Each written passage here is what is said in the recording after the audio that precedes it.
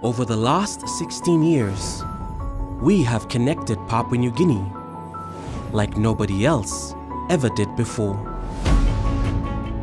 We allowed people to stay connected, in touch with today's world. But our mission went far beyond telecommunication, beyond towns and urban centers, and into the heart of this diverse archipelago. We built schools where nobody else ever did before. Clinics where people were in need of help. And never shy of reaching the last mile.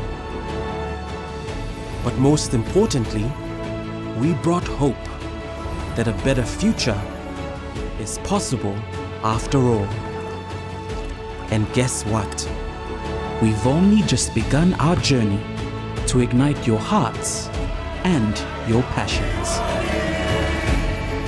Digicel, creating a better Papua New Guinea for all.